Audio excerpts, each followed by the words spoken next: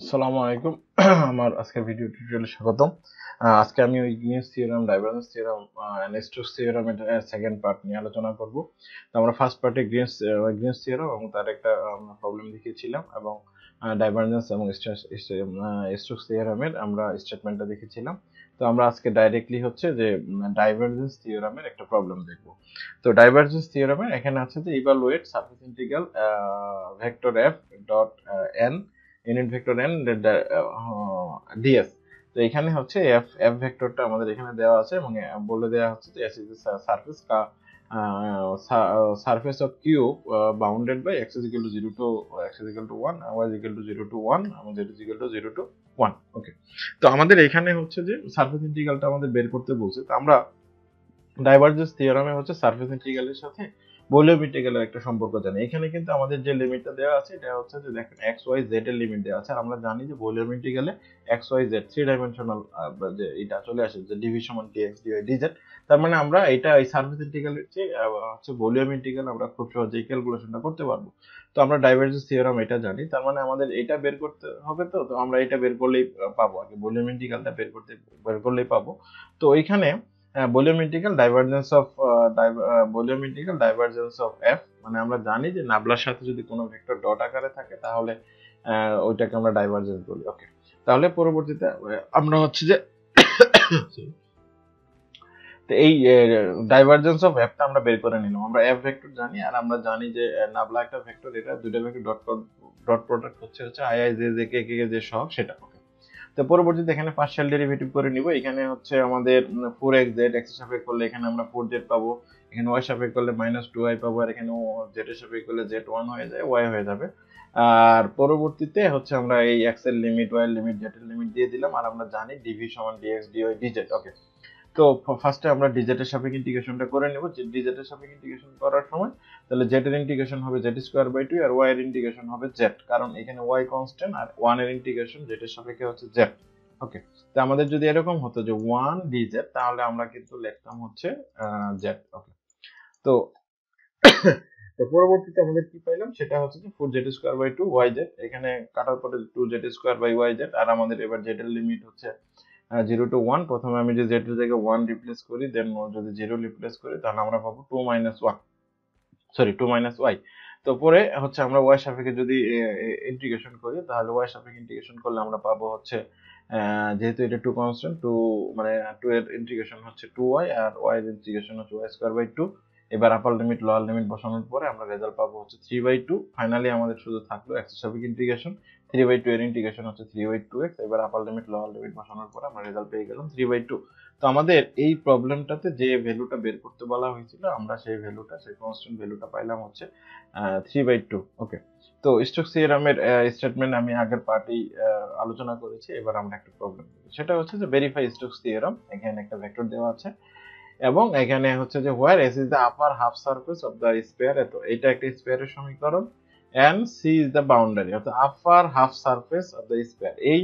এই একটা স্পেয়ারের উপরে, একটা স্পেয়ারকে যদি আমি কেটে দেই বা হাফ করি, তাহলে ওই স্পেয়ারের উপরে যে শেপটা থাকবে, সেটা কিন্তু একটা সার্কেল ওকে তো, আমরা এই যে স্কয়ারের সমীকরণটাকে, এটাকে একটা আমরা প্যারামেট্রিক সমীকরণ প্রথমে ধরে নিব। প্যারামেট্রিক সমীকরণ হচ্ছে, এখানে তো তিনটা ভেরিয়েবল আছে, এই তিনটা ভেরিয়েবলকে আমরা অন্য আরেকটা ভেরিয়েবলের সাপেক্ষে যদি রূপান্তর করে এই সমীকরণটাকে সত্য মানে সমীকরণটাকে সত্য রেখে লেফট রাইট রাইট সমান রেখে যদি আমরা নতুন সমীকরণ নিয়ে আসতে পারি, সেটাকে হচ্ছে প্যারামেট্রিক ইকুয়েশন বলে। তো আমরা এই প্রত্যেকটাকে টি এর সাপেক্ষে যে এক সমান আমরা ধরলাম এখানে cos টি ওয়াই সমান হচ্ছে আমার sin টি আর জেড সমান হচ্ছে জিরো যেখানে জিরো টু টি যেহেতু এখানে সার্কেলের কথা আমি বলতেছি, তাহলে সার্কেলের মানে upper half surface surface of স্পেয়ারের উপরে কিন্তু সার্কেল উৎপন্ন হয়। তারপর সার্কেলের তো ধরেন, দেখেন একটা, এটা যদি একটা সার্কেল হয়, এই সার্কেলের এই সার্কেলের আপনার হচ্ছে যে টোটাল এটা কি হবে? অ্যাঙ্গেলটা যদি চিন্তা করি যে টু পাই এখান থেকে এখানে নাইনটি তারপরে একশো আশি, তারপরে হচ্ছে তিনশো ষাট মানে টু পাই তার মানে আমাদের এই লিমিটটা হবে জিরো টু টু পাই পরবর্তীতে আমাদের এটা আসবে। তো প্রথমে আমার যেটা দেওয়া ছিল যে আমাদের স্টোক থিওরাম স্টোক থিওরামের দেখেন আমাদের লেফট সাইড হচ্ছে ক্লোজ ইন্টিগ্রেশন বা লাইন ইন্টিগ্রাল হচ্ছে এ ডট ডিআর তাহলে এ ডট ডিআর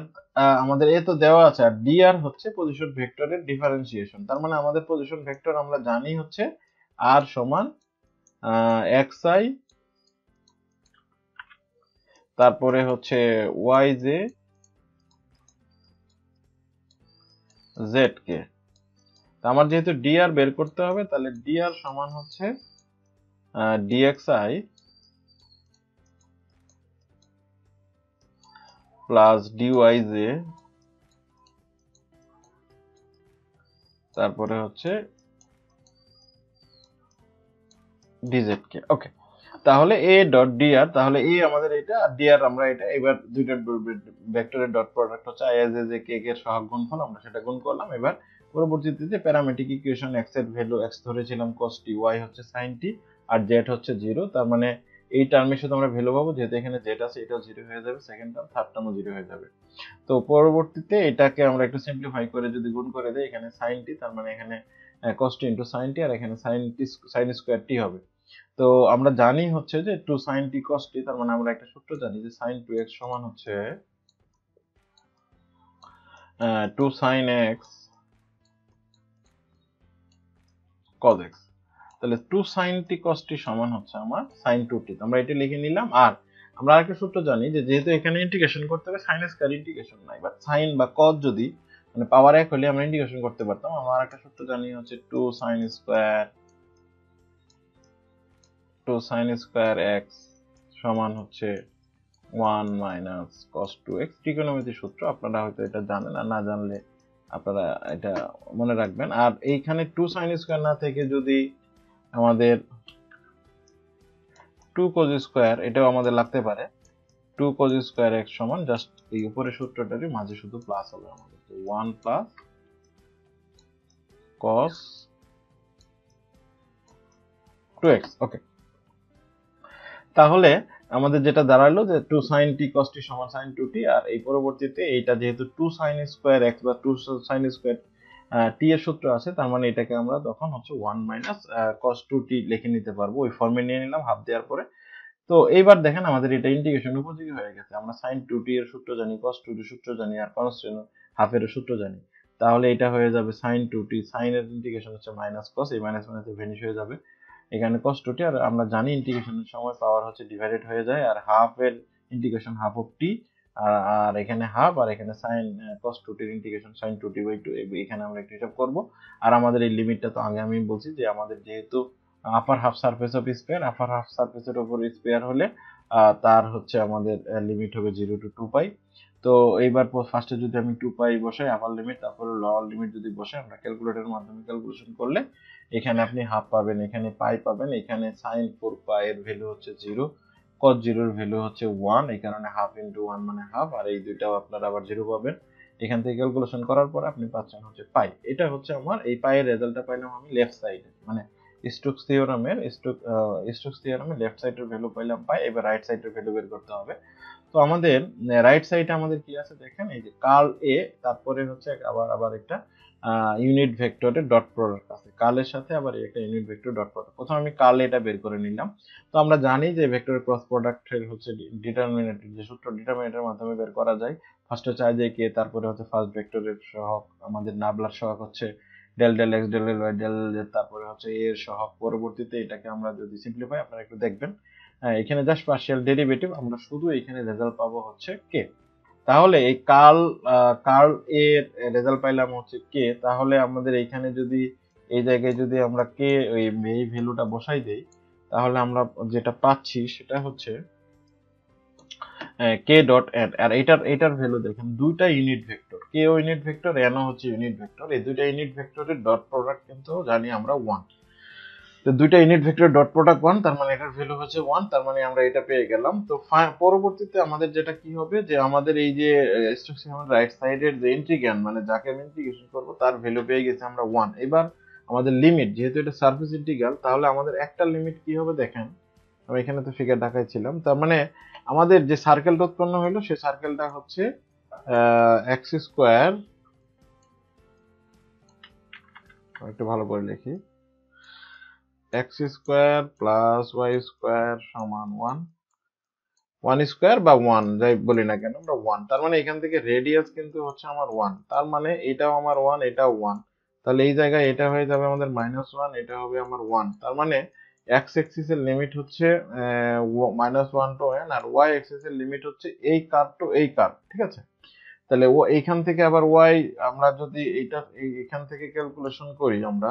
তাহলে ওয়াই সমান পাবো হচ্ছে মানে ওয়াই স্কোয়ার সমান পাবো হচ্ছে ওয়ান মাইনাস এক্স স্কোয়ার আর ওয়াই সমান পাবো হচ্ছে plus minus root over one minus x square okay তাহলে আমাদের এই নিচেরটা হচ্ছে আমার negative minus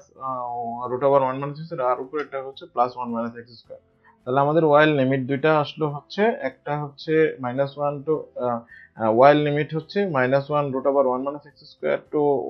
এটা plus root over one minus x square আর এক্সের লিমিট তো বলেই দিলাম। তো এখানে ফার্স্টে আমরা ওয়াই সাপেক্ষে ইন্টিগ্রেশন করব, যেহেতু এখানে ওয়ানের ইন্টিগ্রেশন আমরা জানি হচ্ছে ওয়াই পরবর্তীতে এটা বসাইলাম এবং এখন এখানে ওয়ান মাইনাস এক্স স্কোয়ার আছে, এই one minus x square integration করার জন্য। এটা আমাদের একটু সাবস্টেশন পদ্ধতি ইউজ করতে হবে ম্যাথমেটিক্স ওয়ানে আপনারা দেখেছেন, যে আমাদের যদি ওয়ান মাইনাস এক্স স্কোয়ার থাকে, আমরা এটাকে ধরে নেই হচ্ছে এরকম যদি থাকে, তাহলে আমরা যদি এক সমান সাইন থিটা ধরি, তাহলে আমাদের এইটা ক্যালকুলেশন করতে সুবিধা হয়, বা ইন্টিগ্রেশনটা করতে সুবিধা হয়। তাহলে আমরা এখানে x is to sine theta তাহলে dx is equal to cos theta আর এবার লিমিট যদি চেঞ্জ করি এক্সের ভ্যালু যদি জিরো বসাই সাইন থিটা সমান জিরো তার মানে থিটা সমান জিরো পাবো আর ওয়ান বসাইলে পাই বাই টু পাবো। তো পরবর্তীতে আমরা এখানে ভ্যালু বসাই দেওয়ার পরে দেখেন one minus sine square root over মানে এখানে কস থিটা এখানে cos theta cos square theta তো আবার ওই যে টু কজ স্কোয়ারের তো ইন্টিগ্রেশন নেই টু কজ স্কোয়ার আমরা একটু আগে এখানে দেখে আসলাম যে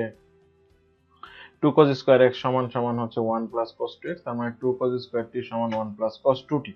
তো one plus cos two